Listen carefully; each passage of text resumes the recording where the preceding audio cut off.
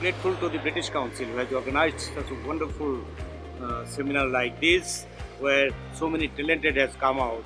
I'm really amazed to see my daughter who spoke very very well even though he has not won the first prize but she spoke very very well.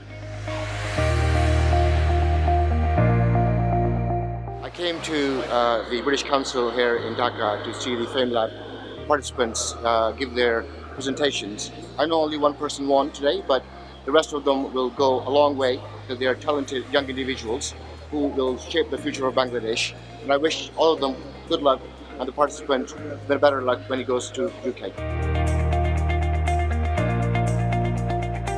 Fame Lab, it's been a wonderful experience and I am a big, big supporter of the ideas behind the Fame Lab, which is to give students practice and to encourage and promote the ability to speak fluently, succinctly, and in an organized fashion.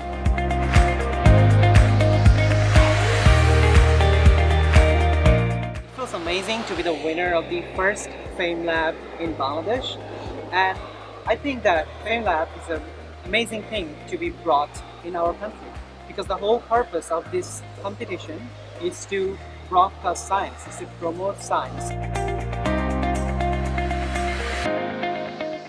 A massive thanks to British Council for organizing first time in the history of Bangladesh this Fame Lab initiative. We are really uh, very happy and proud to be a partner of this Fame Lab initiative for the first time in Bangladesh and I hope that all these young scientists will get a huge opportunity to showcase and present their ideas and their thoughts in UK and also in the global platform.